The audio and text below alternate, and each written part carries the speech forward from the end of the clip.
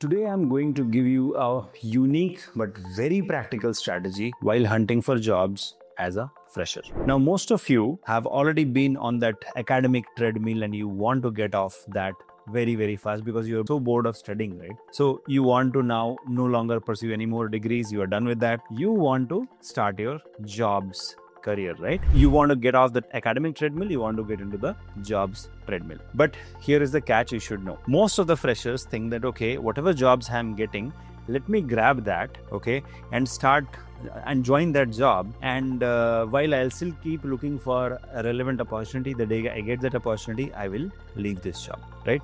So most of the freshers do this or maybe thinking of doing this. Here is a catch you should know the moment you leave this job which you took it just uh, for because you didn't want to sit idle you didn't realize that any job you take is going to be very demanding. See whether you are a fresher candidate or experienced candidate if somebody is going to give you money against the work which you do obviously they'll ask you to do some work right? So when you start doing that work it will be highly taxing and then you will be very tired by evening and you will think that okay you know where is the time to look for another job? And uh, you know all this will happen. So job switch becomes difficult.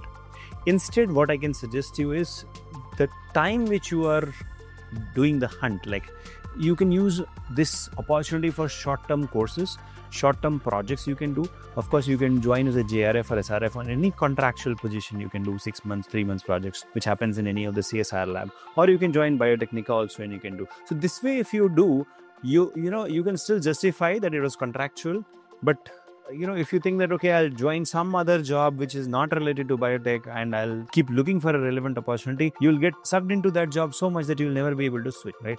So this is one thing which i would like to highlight in today's video.